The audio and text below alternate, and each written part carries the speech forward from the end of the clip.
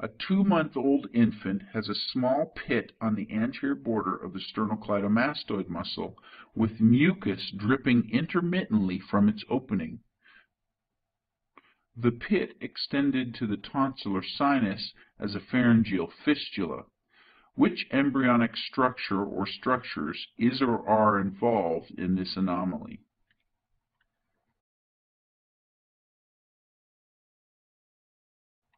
We're looking for the persistence of the second pharyngeal pouch and the proximal part of the second pharyngeal groove.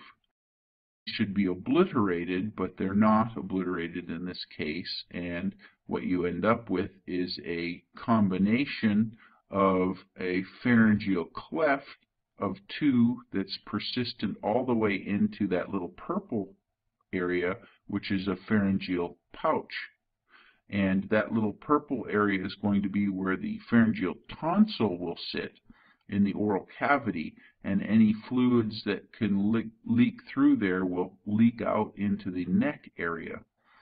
Typically, areas 2 and 3 of the pharyngeal clefts gets obliterated during formation as the lateral walls of the neck overgrow each other and fuse.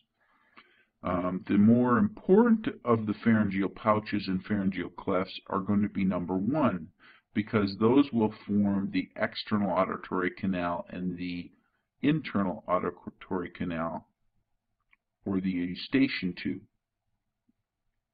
So there's going to be a small membrane, which would be the tympanic membrane, that would persist as a membrane between these two um, pouches and clefts that tubotympanic recess will be an invagination from the inside and the external auditory meatus will be an invagination from the outside. In the second crypt or pouch, you can see that the tonsillar sinus would be developing here, and if it obliterates the pharyngeal clefts on the lateral side, uh, this should just be a small area for the palatine tonsil. Now, in the third pharyngeal pouch, the thymus and the inferior thyroids will develop. Now, the thymus is going to migrate down into the superior mediastinum and it drags down those inferior parathyroids. That can be a tested item in that the inferior parathyroids can be all over the place in tracked with that thymus as it migrates.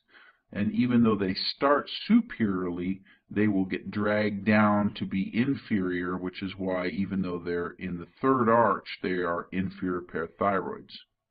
The fourth arch has a parathyroid associated with it as well, but because it's anchored there and doesn't uh, migrate as much, then it will be less associated with any loss of position in the adult form. There will also be the C cells of the thyroid, which will be coming from the ultimobranchial body, um, which is going to be neural crest cell derivatives coming from the fourth uh, arch.